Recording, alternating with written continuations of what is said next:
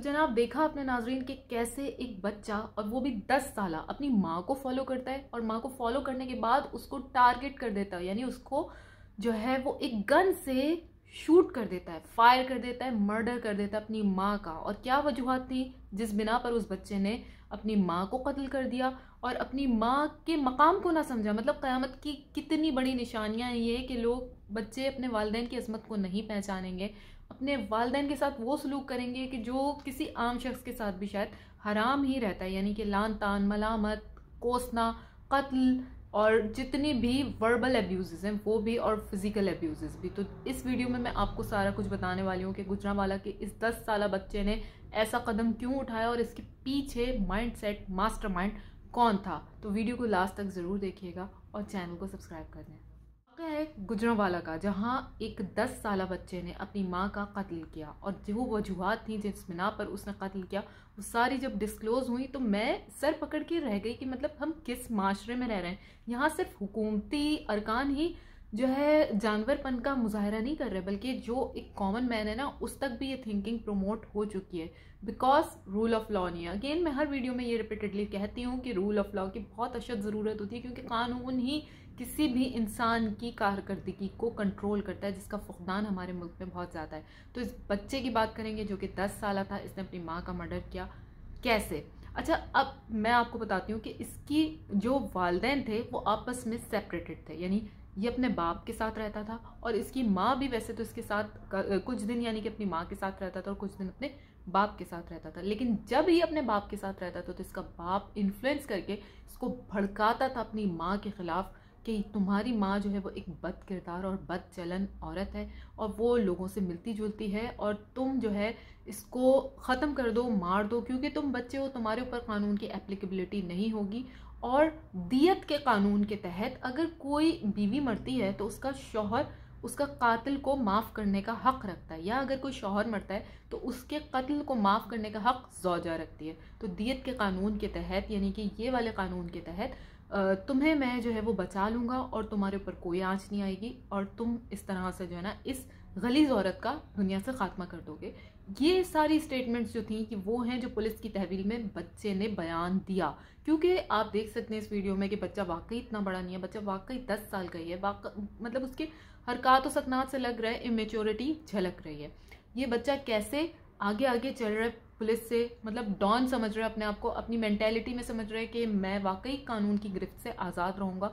और ये सब तो शायद एक शूट हो रही है, एक प्ले सीन हो रहा है कि जिसमें मैं इस तरह से भागता चला जाऊँगा और कोई फ़र्क नहीं पड़ेगा। तो ये अपनी माँ को पूरा फॉलो करता है गली में। ये गली की सीसीटीवी फुटेज है, कुछ जो है वो यूट्यूब की इंस्ट्रक्शंस हैं। तो इस वजह से मैं कंप्लीट क्लिप को आपको नहीं दिखा सकती। थोड़ा सा आइडिया आपको हो जाएगा कि किस तरह से ये बच्चा फॉलो करता है और फॉलो करने के बाद जो माँ के साथ एक और औरत होती है, वो बच, बचा के भाग जाती है।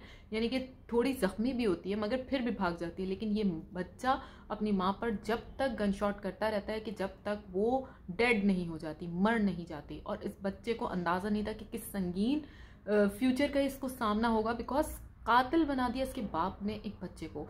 ये कोई भी सेपरेटेड पेरेंट्स होते हैं, वो कितना बड़ा जुल्म करते हैं, एक दूसरे के खिलाफ भड़का कर वैसे तो किसी भी रिश्ते में ना, भड़काना जायज़ है ही नहीं, इसलिए क्योंकि हर इंसान का एक अपना आज़ाद माइंडसेट होता है, हर इंसान परखे अपनी बिना पर। हम अपने बच्चों में जो नफरत उंडेलते हैं, वो दरअसल उनकी तबाही का बायस बना देते हैं, यानी अपने हाथ से अपने बच्चों का दिमाग भी ख़राब करते हैं और उनका फ्यूचर भी तबाह करते हैं, क्योंकि उनके अंदर वो करेक्टरिस्टिक्स जन्म लेने लगती हैं जो हम उनको फीडबैक दे रहे होते हैं। तो किसी भी पर्सन के बारे में और जब के खसूसी तौर पर कि बच्चे का रिश्ता ऐसा हो, मैं बार बार वीडियोज़ में कहती हूँ कि सास बहू के रिश्ते में सास जो होती है वो अपने बेटे को बहकाती है या बहू अपने मियाँ को बहकाती है तो ये भी बहुत गलत है। इसके भी बहुत ज़्यादा गलीज तरीन इफ़ेक्ट्स हमने अपने माशरे पे देखे जो फवाद कत्ल केस हुआ।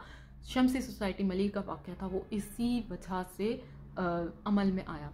उसके उससे जो रिलेटेड वीडियो आप मेरी उसमें जाकर देख सकते हैं कि पूरी डिटेल है उसमें कि क्या हुआ था कैसे हुआ था। लेकिन यहाँ पर मैं इस बच्चे की बात करूँगी इस बच्चे को इसके बाप ने शदीद बहकाया और बहकाने के बाद इसको सप्लाई किया वो गन यानी कि बच्चे के पास तो ज़ाहिर है ना, गन तो पैसों से आती है, बच्चे के पास तो इतने आमदनी के ज़रिए नहीं होते, बच्चे के पास ना इतना पैसा होता है कि वो जमा करे और वो गन ले ले तो इसको बाप ने जो है वो फैसिलिटेट किया, गन ला कर दी और ना सिर्फ़ ला कर दी, बल्कि इसको निशानेबाजी का थोड़ा सा तजर्बा दिया कि किस तरह से टारगेट करते हैं, किस तरह से मारते हैं और किस तरह से मारते रहते हैं कि जब तक इंसान मर ना जाए। तो ये सारी जितनी भी टीचिंग थी, इसके बाप ने इसको दी।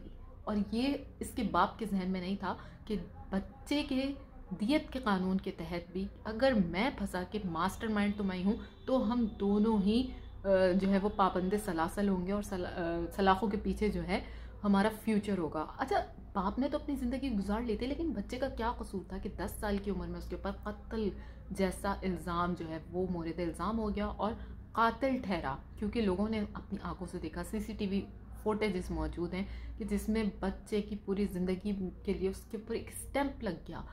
सिर्फ़ इस वजह से क्योंकि माँ बाप के अंदर जो रिश्ता था वो सेपरेटेड था और बाप ये भड़काता रहता था कि तुम्हारी माँ तो जो है वो गलत औरत है और वो दूसरे लोगों से मिलती है और दिस और दैट और बच्चा उसके बहकावे में आ गया क्योंकि कम उम्र था।